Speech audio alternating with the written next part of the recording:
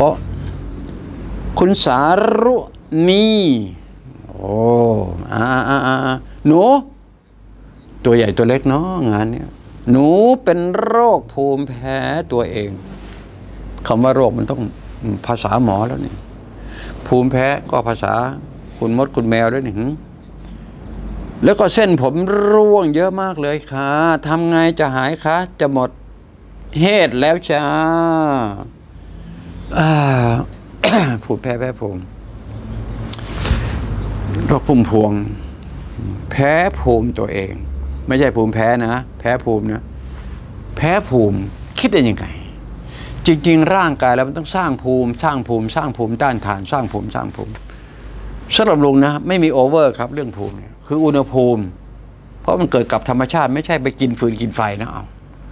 ภูมิร่างกายมันต้องปรับมันสัดส่วน มันจะไปแพ้ได้ยังไง เอาภาษาอะไรมาพูดที่ว่าเนี่ยเห็นไหมใช่ไหม มันธรรมชาติมันจะไปแพ้ได้ยังไงงั้นก็ต้องเอาเข้าไปสูดอะสร้างภูมิต้านทานขึ้นมางับอากาศครับท่าน สูดเข้าไปเลยอย่าไปสนใจมันอยู่ยาที่เขาว่าโอเคไหมมาถึงธรรมชาติดีกว่านะใส่เข้าไปเต็มที่กันนานๆนะครับ ส่วนผมที่มันร่วง เอ้าปลุกมันขึ้นมาใหม่ โอเคไหมเซลล์ในร่างไอเซลล์ผิวหนังแล้วมันจะแข็งแรงขึ้นมา แล้วเชื่อว่าเช่นผมก็จะมา แต่ถ้าหากว่าผมร่วงแบบเหมือนเป็นแผลเป็นก็โยมเหมือนกันเอาเช่นใครเนาะโอ้อย่ายกตัวอย่างเลยเขาอยู่หน้าจอเป็นประจำทุกวันทุกวัน ผมพูดผมก็แย่โอเคนะ หวังว่าเราตั้งความหวังแล้วกัน เกาครับเกาหัวเนี่ยตัวนี้คล้ายๆกระตุ้นนะฮะกระตุ้นผิวหนังให้ไฟฟ้าสถิตมันทำงานนะครับ เผื่อว่าเผื่อว่ามันร่วงไปแล้ว เผื่อว่ามันงอกขึ้นมาใหม่ ถ้างอกขึ้นมาปุ๊บเวอร์ไวเว็บเลย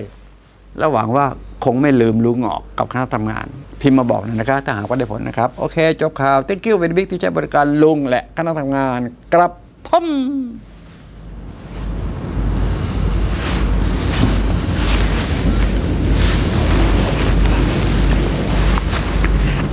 คุณบุษรากร หนูปอจอดอไม่มา ค่าหกเดือนแล้วค่ะ